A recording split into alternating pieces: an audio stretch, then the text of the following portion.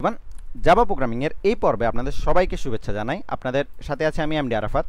So গত পর্বে আমরা ডেটা টাইপস নিয়ে আলোচনা করেছিলাম। সো তারই ধারাবাহিকতায় আজকে আমরা এই পর্বে যে টপিক্সটা নিয়ে আলোচনা করব, সেটা শুধু জাভা প্রোগ্রামিং নয়, যে কোনো ধরনের প্রোগ্রামিংয়ের জন্যই সবচাইতে ইম্পর্ট্যান্ট এবং মোস্ট ইউজেস একটা topics which is what variables so এখন আমরা দেখব যে জাভাতে কী কী ধরনের ভেরিয়েবল আমরা ইউজ করি এবং কীভাবে আমরা ভেরিয়েবলকে ইউজ করতে পারি, ঠিক আছে?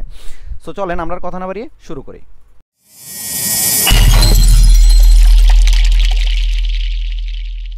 আমরা জেনে নিই যে ভেরিয়েবল মূলত বিষয়টা কি। সো এখানে একটা ফর্মাল ডেফিনেশন দেওয়া আছে যেটা আপনারা নোট করে নেবেন। সো আমি আপনাদের বোঝার সুবিধার্থে খুব সহজে বলে দিই।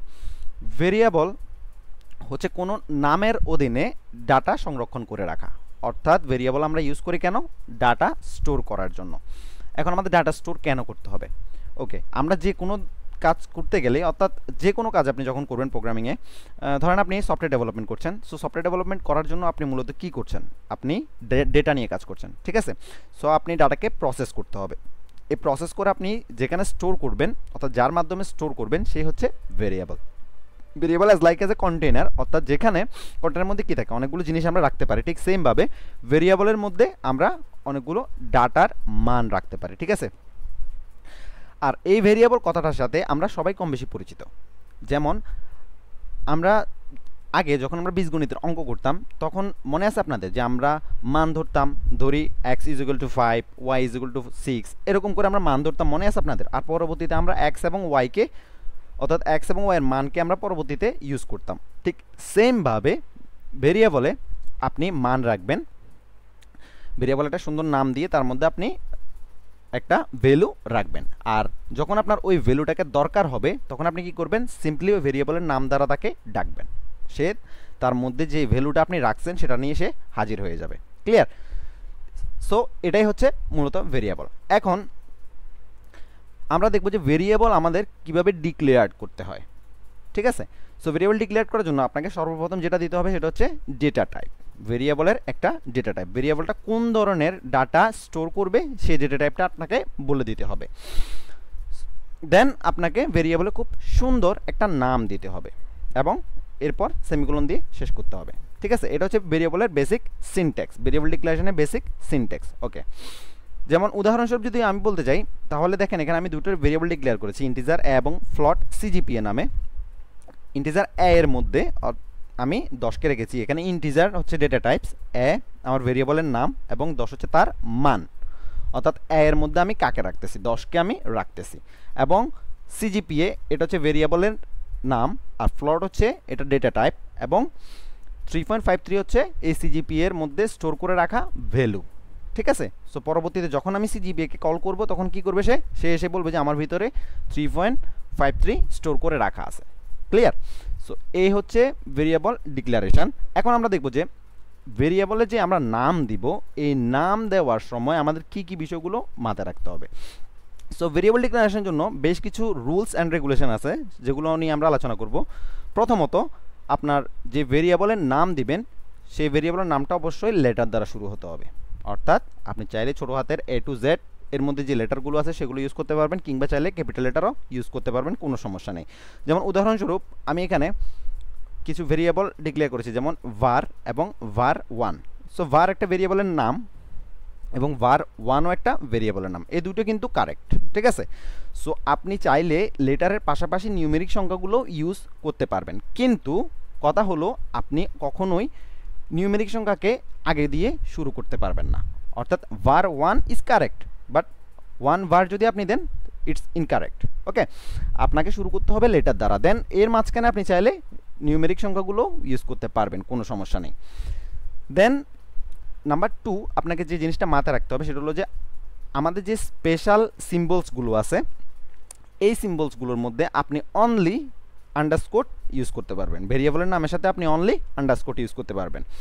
যেমন, অনেকটা বিষয়টা হবে এরকম টেস্ট আন্ডারস্কোট নেম ঠিক আছে? টেস্ট নেম এই দুটা আলাদা আলাদা শব্দ, এই দুটোকে আমি আন্ডারস্কোর দ্বারা একসাথে করে দিলাম ক্লিয়ার সো আন্ডারস্কোট ইউজ করে আপনি ভেরিয়েবলের নাম ডিক্লেয়ার করতে পারবেন, কোনো সমস্যা নেই। কিন্তু এছাড়া যে স্পেশাল সিম্বলস আর যেগুলো আছে, যেমন ধরেন hash at the rate and কিংবা ডলার সাইন এগুলো আপনি ভেরিয়েবলের নামের সাথে ইউজ করতে পারবেন না ওকে আর যদি আপনি চান, তাহলে এই আন্ডারস্কোরকে ভেরিয়েবলের আগেও অর্থাৎ নামের আগেও দিতে পারবেন, অর্থাৎ আন্ডারস্কোর টেস্ট এভাবেও আপনি কিন্তু ভেরিয়েবলটি ক্লিয়ার করতে পারবেন, কোনো সমস্যা নেই, ঠিক আছে?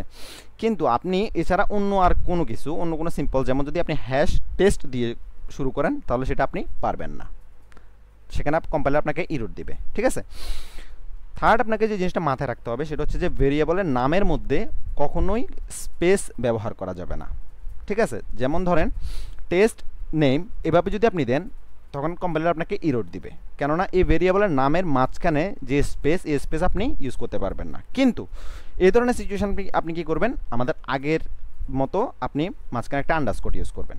ক্লিয়ার নাম্বার ফোর আপনাকে যে জিনিসটা মাথায় রাখতে হবে, সেটা হলো যে ভেরিয়েবলের নাম কিওয়ার্ডের সাথে ম্যাচ করে এ ধরনের নাম রাখা যাবে না। অর্থাৎ কিওয়ার্ডের নাম as a variable name declare করা যাবে না।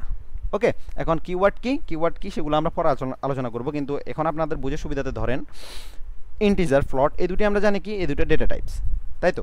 সো এই ইন্টিজার এবং ফ্লট এই নামে কিন্তু আপনি কোনো ভেরিয়েবল ডিক্লেয়ার করতে পারবেন না। যদি করেন, তাহলে কম্পাইলার আপনাকে রুট দিবে।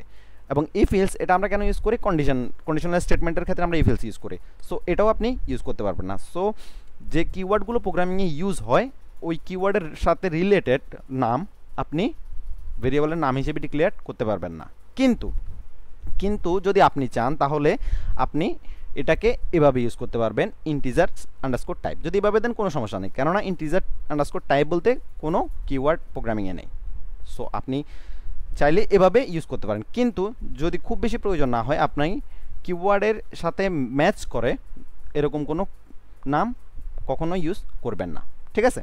সো নাম্বার ফাইভ আপনাকে যে জিনিসটা মাথায় রাখতে হবে, সেটা হলো যে ভেরিয়েবল নেম অবশ্যই যেন রিলেভেন্ট হয়। কেননা, আপনি যখন অনেক বড় প্রোগ্রামিং করবেন, ধরুন আপনি যখন একটা সফটওয়্যার ডেভেলপমেন্টে যাচ্ছেন সফটওয়্যার ডেভেলপমেন্ট করতেছেন, তখন আপনি কি করবেন? তখন আপনি ওখানে হাজার হাজার ভেরিয়েবল নিয়ে কাজ করবেন, তাই না?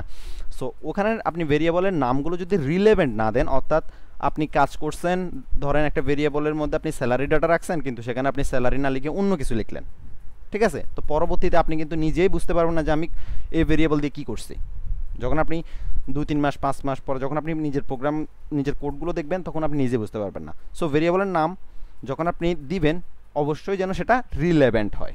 ক্লিয়ার যেমন ধরেন আপনি যদি টিউশন ফি নিয়ে কাজ করেন, তাহলে আপনি টিউশন ফি দিতে পারেন সিম্পলি সো টিউশন ফি যদি নিয়ে কাজ করেন, তাহলে আপনি টিউশন ফি দিতে পারেন। যদি আপনি স্যালারি নিয়ে কাজ করেন, তাহলে স্যালারি দিতে পারেন। এরকম। Should be rele relevant okay then number six আপনাকে যে বিষয়টা মাথায় রাখতে হবে, সেটা হলো একই নামের একই নামের একাধিক ভেরিয়েবল অর্থাৎ একাধিকবার আপনি ইউজ করতে পারবেন না। সেম নামে একটা ভেরিয়েবল আপনি একাধিকবার ইউজ করতে পারবেন না।